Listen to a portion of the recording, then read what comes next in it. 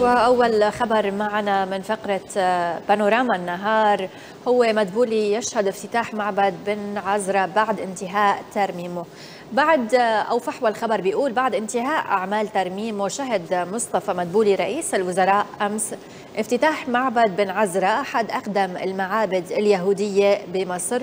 يرافقه أحمد عيسى وزير السياحة والآثار واللواء هشام آمنة وزير التنمية المحلية واللواء خالد عبد العال محافظ القاهرة. وهالشي صار ضمن الجولة اللي تفقد خلالها مدبولي عدد من المواقع الأثرية والتراثية يلي انتهت أعمال الترميم والصيانة فيها عقب افتتاح مركز السيطرة للشبكة الوطنية للطوارئ والسلامة العامة بمقر ديوان عام محافظة القاهرة.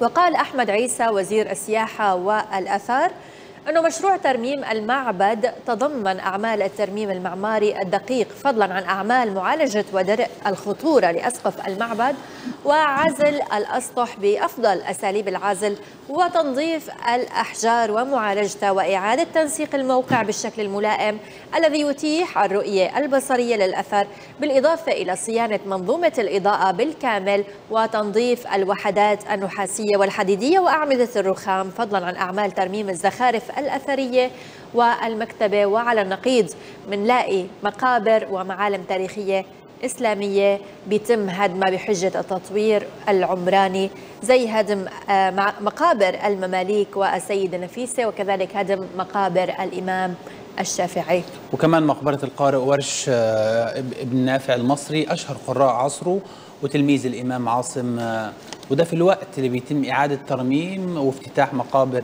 الجالية اليهودية اللي هم ست أفراد في مصر. الخبر غريب شوية. طيب الأغرب منه الخبر ده امبارح. يعني التطورات اللي إحنا بنحكيها دي يمكن متلاحقة بسبب صعوبة الخبر شوية. يعني 31 8 2023 مصطفى مدبولي افتتح أعمال أو افتتح معبد بن عزرة بعد ترميمه طيب نرجع شوية. لورا السنة اللي فاتت يوم 9 9 2022 بالتحديد عبد الفتاح السيسي قال لا مساس بالمقابر التاريخية والناس اللي لهم وزن في مصر. الكلام ده اتقال في فيديو وموجود على اليوتيوب وموجود موجود على صفحة رئاسة الجمهورية. قبلها بسنة في سنة 2022 وبالتحديد في شهر أكتوبر يوم 24 أكتوبر بدأ هدم المقابر الأثرية التاريخية اللي ممتدة لمئات السنين في مصر. طيب آه في اختلاف لما نلاقي دلوقتي إن في ترميم لمقابر يهودية؟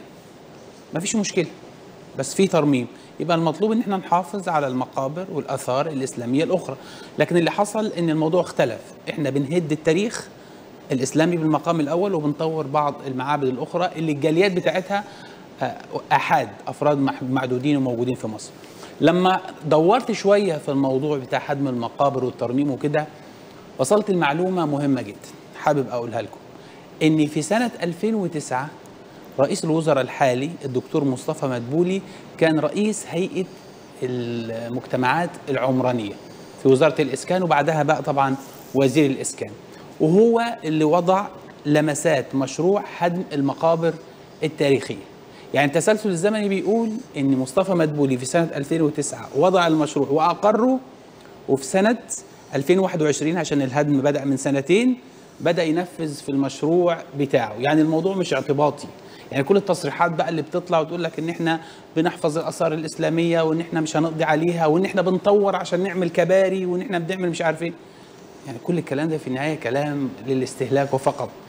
في مخطط يا جماعة قديم لهدم الحاجات دي بحجج بقى هواهيه وحجج مختلفة ومش عارف إيه. الأصل في الدول كلها إنها بتحافظ على آثارها ايا كان هي إيه؟